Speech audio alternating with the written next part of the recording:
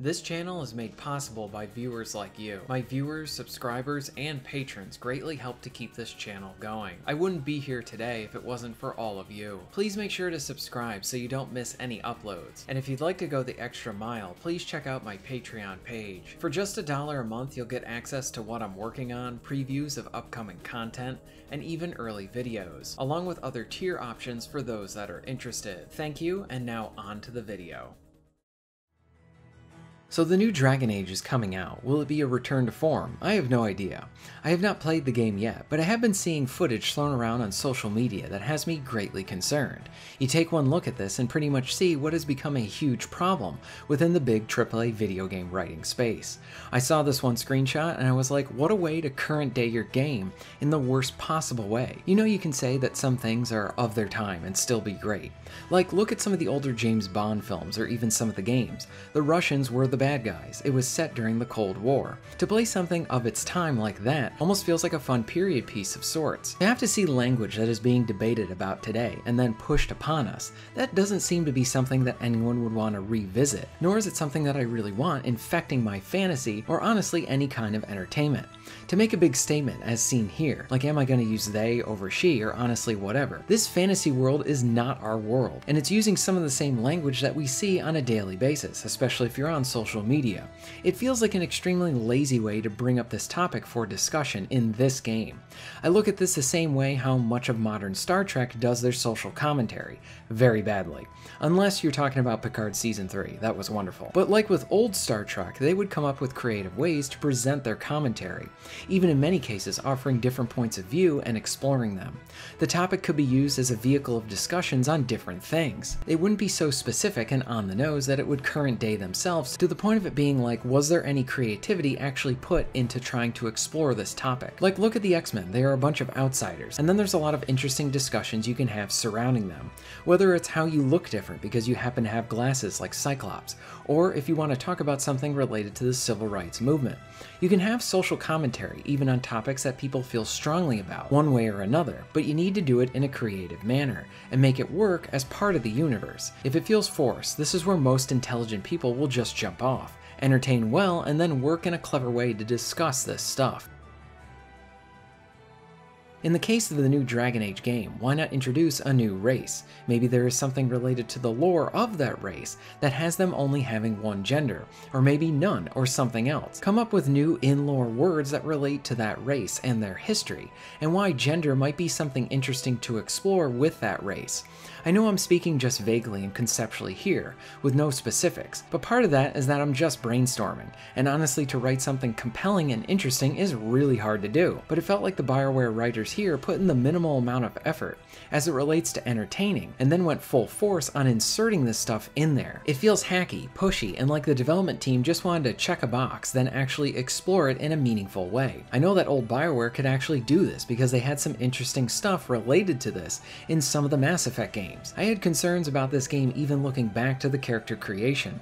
I do not really understand why you need to have the option to select your own pronouns here. If you're a man and you want to play as a girl, then select a girl. Ideally for people who are transitioning, the end goal is to fully transition, right? So having the pronoun selection feels more like a social media checkbox rather than it actually making any sense here. Like, I haven't played the game, maybe this stuff is actually well done, and the clips and screenshots I have seen are totally out of context. I could be completely wrong, and let me know if I am way off base here. But I have seen this sort of stuff in games a lot, and it all stems from the same modern writing stuff, where agenda is then placed above actually entertaining your audience. I do want to clarify too that this doesn't mean that I don't think that you can have progressive stuff in your games, or even more importantly, playing and enjoying a game that you may disagree with some of its points or even messages. First, it needs to entertain the player, make it a fun game, whatever the game ends up being, and then when delivering or even exploring the message, how it is done, that is the most important part. Like just when you take a concept for a game or a piece of entertainment, any crazy idea, even a bad idea, through good execution can probably turn it into something enjoyable. But you have to have the talent to actually accomplish this. Old BioWare was able to do this. Jade Empire was one of the first games I remember having a gay romance option within the game. It wasn't thrown in your face or pushed upon you, but rather found out and then explored if you wanted to. By making certain choices and then really diving in deep with some of the characters. Jade Empire is easily one of my favorite games, if not my favorite BioWare game too. Clearly a lot of these people are not working there anymore, or even in the industry in some capacity. I miss when stuff was about entertaining the player first and foremost, over just pushing a progressive agenda. And I say all this as a big BioWare fan myself. My first game of theirs was Knights of the Old Republic, and then I have played every game that they have released since then. I have enjoyed all of them, even Anthem. Yes, I really like the movement and combat within that game a lot. It needed a lot of work to revamp it, but it was still fun. One of my first videos on this channel was actually defending Andromeda as well. Again, I had a lot of issues here, but there was also a lot of stuff that I really enjoyed too.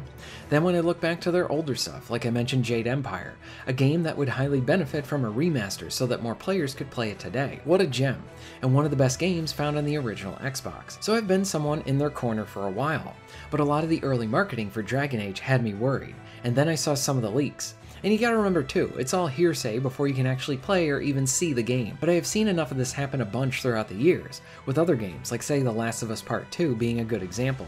And I didn't think in this instance it was going to go well either, where this title seems more like a soft reboot for the series than an actual sequel. Modern writing is killing gaming. This progressive agenda stuff is part of the problem, and putting agenda over entertainment. But related to this is where you have writers infiltrating legacy series and fan bases to then write their own stories to push their stuff, then actually respecting what came before them. This is happening with big film series and even games as well. There are sequels being made that sadly do not respect the characters they originally set up, too busy being focused on subverting expectations, bringing down the core hero, to then build up a side character to take their place. We see this all too often, whether it was with Spider-Man 2 or The Last of Us Part 2.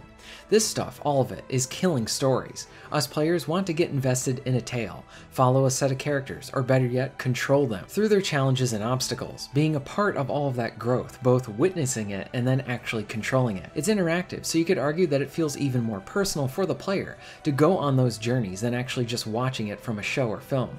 So when gamers voice their opinions like this, they are passionate and very vocal when it comes to stuff they don't like, and then highly praise what they love as well. There's a lot of problems within the AAA industry, but if they don't want to keep sinking, then I would recommend that they start getting people who actually want to make video games and actually love the medium as part of their development teams in there.